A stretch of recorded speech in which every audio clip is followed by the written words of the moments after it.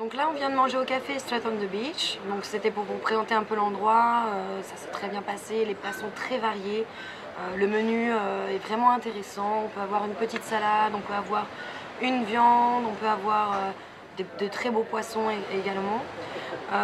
L'avantage de, de, cet endroit, c'est qu'on est aussi très bien situé. On est juste en face de la mer. Donc le repas a été très agréable. Le personnel très sympathique, très avenant un endroit euh, vraiment à, faire parce que euh, faut pas manquer l'occasion de passer une très bonne soirée dans un restaurant très sympa avec un personnel très sympathique.